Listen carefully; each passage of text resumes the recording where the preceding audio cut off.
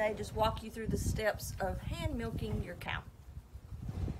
She's in here, she's got her feed, she's tethered. Um, I brush her bag. I've already done this, I'm gonna just show you how to do it. Uh, loose dirt, hair, just trying to get all that off of there. She's pretty clean. Then I use warm water. I bring a thermos of warm water with me. Um, it helps her relax. She lets down her milk real easy for me. And in the wintertime, it warms my hands, which are very, which is very important.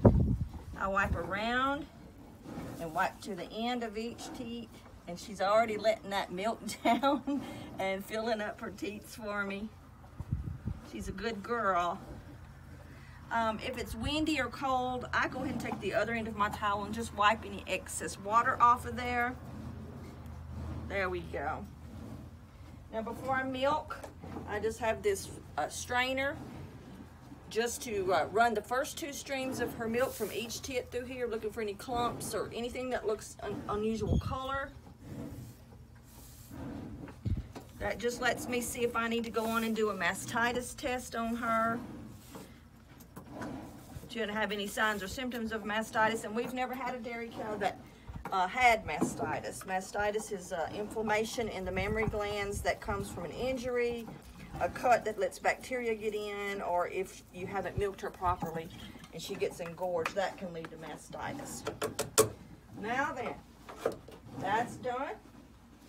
I'm milking to this little two quart stainless steel bucket. It is the handiest thing because sometimes they kick or even accidentally moving around to get her alfalfa, she can uh, hit the bucket. You're gonna grab it, grab the bag. May I borrow your teat? You're gonna grab her teat right where it connects to her bag. You're gonna just kind of put a little pressure there and gently squeeze. You don't have to do a lot of tugging motion. Now I put my head on her and rub her.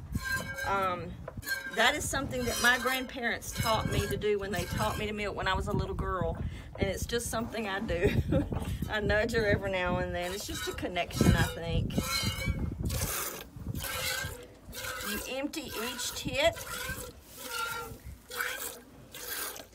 You milk it until the nipple shrivels and there's no milk coming out. You move to the next one. After you've done all four, then you come back and go through again, and that's called stripping. When I get my bucket full, I strain it into my, is a one and a half gallon jug. She gives us one and a half to two gallons at a time. So any extra the other farm animals get. And that is how Buttercup and I do once a day milking.